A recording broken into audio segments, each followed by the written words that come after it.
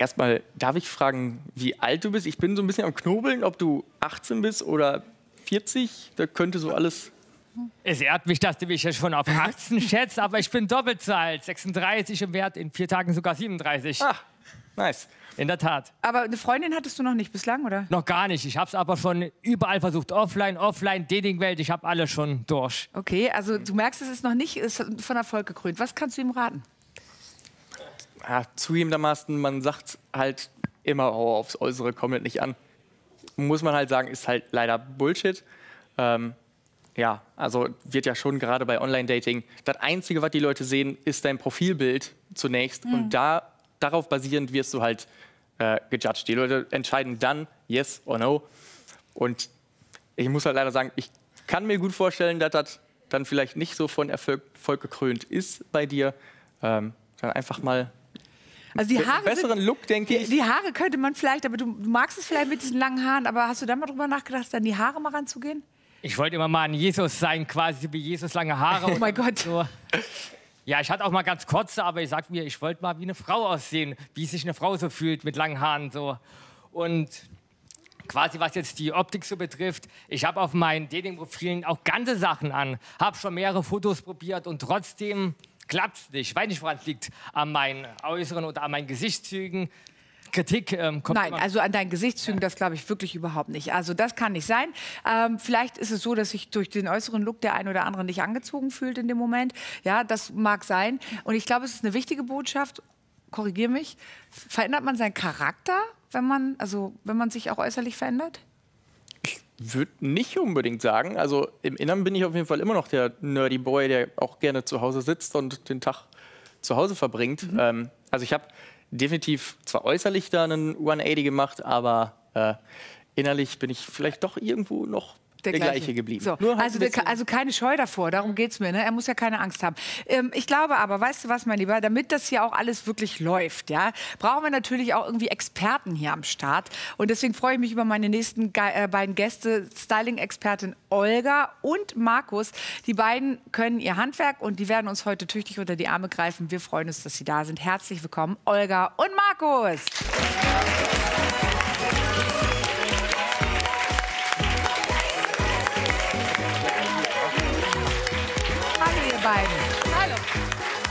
Hallo. Herzlich willkommen, ich freue mich, dass ihr da seid. Ähm, tja, wir haben hier einen ziemlich harten Fall, eine harte Nuss zu knacken. Olga, du bist ja, Styling-Fachfrau. Was können wir tun? Ja, erstmal ist es, sage ich, bitte schade für so einen jungen, attraktiven Mann. Aber das machen wir schon heute. Ja, aber was würdest du ihm raten? Weil er verweigert es so ein bisschen, obwohl er so viel Ablehnung erfährt und eigentlich da traurig drüber ist.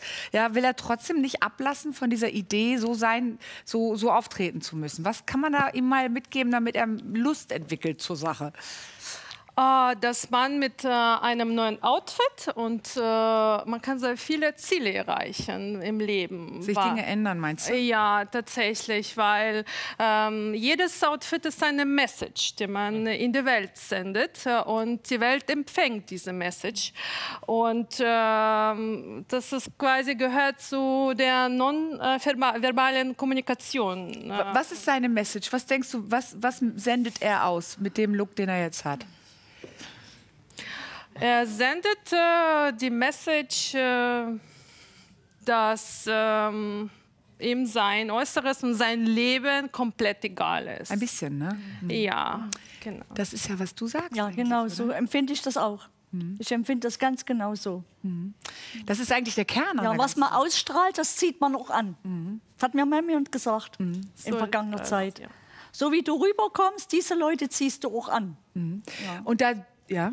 Also ich lege ja viel mehr Wert auf Charakter. Ich sage, ich will nicht, dass die Leute mich daran beurteilen, wie gut ich aussehe. Und daher will ich, dass man mich so annimmt, wie ich bin. Und erst dann Nein. kann man sagen, du veränderst dich. Aber vielleicht äh, musst du es mal anders machen. Die Leute sehen vielleicht gar nicht den guten Charakter, den du hast, Richtig. weil sie sich so Richtig. konzentrieren auf diese etwas eigenwillige Art mit diesen zotteligen Haaren und so weiter, dass vielleicht gar nicht die, das wesentliche Schöne erkannt wird in dem Moment. Die Frage gebe ich jetzt auch mal. Du bist ja von wirklich mit Leidenschaft, mit Haut und Haar Friseur. Genau. Ja. Und ich meine, was geht dir denn so aus Friseursicht da durch den Kopf, wenn du jetzt bisschen versutzelt.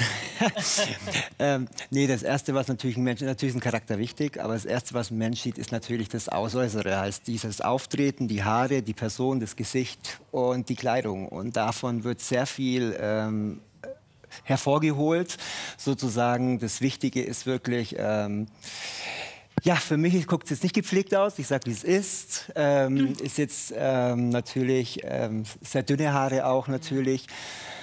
Ähm, auch vom Groben her, aus jedem Menschen kann man was machen, weil jeder Mensch ist natürlich einzigartig. Jeder Mensch hat so seine Art, jeder Mensch ist schön auf seine Art. Aber ähm, da kann man auf jeden Fall was rausholen. Ja? Das klingt perfekt, gut schon mal. Ja, klingt schon mal ganz gut. Ne? Und er hat ja gestern äh, ein Stündchen unter der Dusche verbracht. Ja? Also Haare sind noch frisch. Insofern lass, lässt sich da ja auch ordentlich was draus machen. Ja, mal, weil deine Mutter hat ja erzählt, dass das manchmal so ist, dass du dann auch gar nicht, dich gar nicht so richtig pflegen willst und so weiter, um dann wieder eine Stunde irgendwo unter der Du- Dusche zu stehen. Ich sag mir, wofür willst du dich pflegen, wenn du noch gar keine Freundin hast? Wenn du sowieso nur zu Hause sitzt, kannst du dich auch gehen Pflege lassen. ist trotzdem wichtig. Kennst du, kennst du das, die Frage, wer zuerst da war, die Henne oder das Ei? Ja? Hast du schon mal gehört davon? Ja. Ja, man weiß es irgendwie nicht so genau. Ja, und das ist genau das. Es wird vielleicht auch nie eine Freundin kommen, wenn du nicht, du musst das Muster durchbrechen. Das ist das Problem, weil sonst werden sie immer sagen, nee, das sieht mir ungepflegt aus, nee, das ist nicht meine Art und Weise, mag ich nicht so gerne. Versuch doch mal, weil du wünschst dir ja vielleicht auch eine Freundin, wie du gesagt hast. Ja? Auf jeden. Also insofern versuche es. Wir haben extra heute gute Leute hier. Ja? Und ich habe mir fest als Aufgabe gesetzt, dass du heute mit einem super schönen Feedback mal nach Hause gehst, weil ich höre, das war lange nicht mehr da. Okay? Ja, schon lange nicht mehr. Also, ja. Das ist unsere, unser erklärtes Ziel für heute, okay? Na gut, was können wir tun? Dann würde ich sagen, ich schicke euch mal, jetzt muss ich mal kurz gucken. Ähm, Olga, du gehst erstmal mit Jeff in die Styling-Ecke rüber. Ja. Und danach nimmst du dir den Jeff und machst mal Bisschen Schnippel, Schnippel, Schnippel. Schnippel, Schnippel, Schnippel. Du bist im besten Händen. Ihr beiden kommt mit, Jeff? Perfekt. Ja. Olga, kommt ihr mal mit zu mir? Ähm, ist das hier die Kleiderstange? Ja. Für, wo wir auch für Jeff, ihr hattet schon so ein bisschen geguckt, drehen wir uns so ein bisschen, dass die Kameras es auch sehen können. Wir können ja jetzt ihn hier nicht in Smoking stecken, das wäre ja Käse. Also sag Äh, mal. Smoking nicht, aber äh, wir haben uns ein paar Outfits äh, rausgesucht. Ähm, auf jeden Fall äh, so ein Anzug. Es muss, äh, das muss nicht unbedingt spießig ausschauen. Das können wir auch mit einem Rollkragenpulli oder sogar mit einem Hoodie äh, mal kombinieren. Und mit schicken Sneaker oder eben Loafer. Also das müssen wir schauen. Äh, deswegen nicht erschrecken. Ich verstehe, dass es jetzt vielleicht nicht gerade deins ist, aber wir machen unser, unser einfach unseren Job. Und äh, Ja, weil das, Anzug ist natürlich schon gleich so ein bisschen die Königsdisziplin jetzt. Ne? ähm, genau, aber wir, wir stylen es so, dass du dich doch äh, wohlfühlst. Wir geben unser Bestes. Ja, wir- äh, genau, wir haben noch eine Jeans, äh, eine ganze, jetzt nicht zerrissene. äh, und äh, die kann man auch ganz schick äh, stylen, beispielsweise mit den Loafer und weißen, weißen Socken. Gib mal was, gib mal raus, was du für ihn richtig findest. Alles klar. Ja? Äh, ich frage dich natürlich, äh, was du vielleicht dir wünschen würdest, weil ich gehe auf die Wünsche Also, wenn ein. ich jetzt äh, die Wahl hätte, hätte Jeans, ich ne? gesagt, ähm, Rollkragenpullover, ein Hoodie wäre gut. Ja, Ja, sehe ich auch mehr für dich ja. als einen Anzug, wenn ich ehrlich Ja. Und dann eine Kapuze drüber, Ja. ja, sehen. Ja, also das sehe ich auch. aber dann ähm, als, ähm, als? Balance, ge genau, dann eine schicke Hose. Aber den Anzug müssen wir auch mit rein. Passt sie ihm? Ja, müssen anprobieren, müsste passen. Ja, dann würde ich das machen. Dann lassen wir die karierte Hose da, dann machen wir mal Jeans, glaube ich. Ne? Prima. Ich glaube, da- wenn das Gefälle zu groß, ich weiß nicht, sagt ihr, was ihr denkt? Wenn es zu krass wird, dann, dann trägt das nicht, oder? Es muss Step by Step sein, ne? Ich würde vielleicht beides probieren und einfach mal gucken, Ja. ähm, was dann optisch für ihn gut ist und wo er sich wohlfühlt. Das ist cool. Welche Schuhe? werden wir überrascht, wer weiß. Dann nimm's, nimm's mit. Ich nehm's mit. Ja. Welche Schuhe? Weiß sieht gut aus. Weißt Ja, du? Weiß und halt äh, Und toll. heile! Ja, Echt stell dir mal vor, ne? Okay, die hier? Genau. Heißt, das, ähm, du nimmst, Markus, nimmst ihn jetzt mit, den Jeff. Du gehst mit ihm nach hinten. Ihr geht alle zusammen und wir gucken mal, was ihr da jetzt zaubert. Und, Ich bin gespannt. Wir sind richtig gespannt, mein Lieber. Gib mir die Handfunke. Gib mir die, Hand, die Handfunke. Danke. Viel Spaß. Der Jeff, wir gucken mal. Mama ist schon ganz gespannt. Was denkst du, wie wird das? Ich denke mir, totschick. Ja, also totschick weiß ich noch nicht mal, ob ich das richtig für ihn fände. Ich glaube tatsächlich, für ihn ist es cooler, wenn er erstmal so ein bisschen Ich glaube, er ist kein Typ, den man so 180 Grad wie bei dir. Ich glaube, das ist schwierig. Äh, danke. Nein, aber wir versuchen ja einen Impact zu haben. Also ähm, klar, man kann jetzt hier so eine komplette Umkehr machen, aber Ziel wäre, dass ihr nach Hause geht und wirklich eine, eine schöne Veränderung stattfindet. Dass der Lust entwickelt, weißt du, so ein bisschen Freude an der Sache. Ne? Dann denkt die Gemeinde, wir haben neun Einwohner Ja, oder neun Nachbarn. genau. So. Gibt es jemanden im Publikum, der Lust hätte, sich mal umstylen zu lassen heute? Oh, guck mal hier, das ist ja cool. Haben wir hier schon bei. Warte. Ah, Ich glaube. Obwohl du schon so eine super coole Lederjacke anhast, oder was? Die finde ich ja schon spitze. Aber komm mal mit, finde ich cool. Wo ich dich eigentlich schon echt toll finde in deinem Look.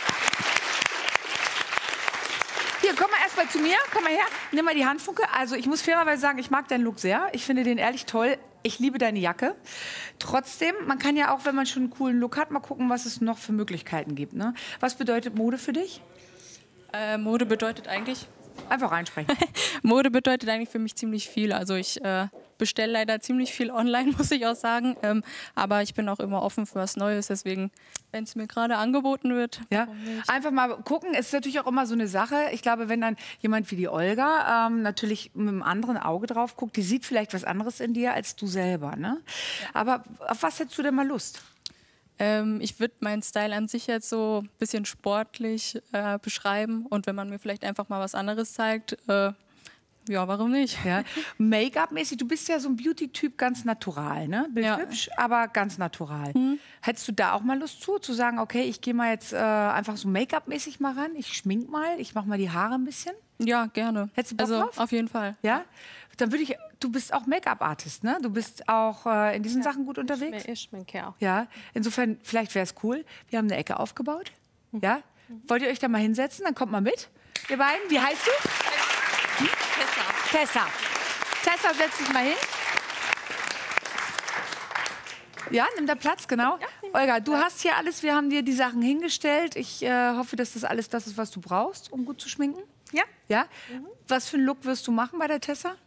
Äh, ich werde ihre Natürlichkeit äh, unterstreichen, einfach mehr Frische reinzubekommen, ein bisschen Rouge, ein bisschen äh, Lippen, äh, nicht verstellen, nicht verändern, sondern einfach mehr Frische und Natürlichkeit und Weiblichkeit. Okay, fangt ihr an? Alles klar. Ja, ich bin gespannt, was da gleich rauskommt. So, wir kommen zu meinem nächsten Gast und ich freue mich, dass sie da ist, denn sie äh, ist sozusagen die Schubumkehr zu dem, was wir von Jeff gehört haben. Die würde niemals das Haus verlassen, ohne top gestylt zu sein. Freuen uns ganz doll, dass sie da ist. Herzlich willkommen. Hier ist Maya.